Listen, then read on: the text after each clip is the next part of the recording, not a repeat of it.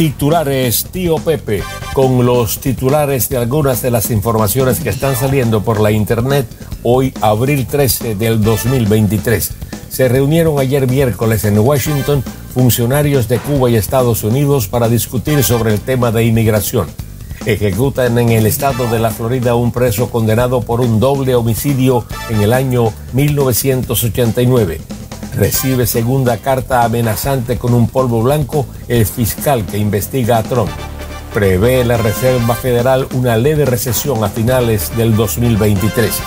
Regresa a su cargo el segundo demócrata afroamericano expulsado por la legislatura en Tennessee.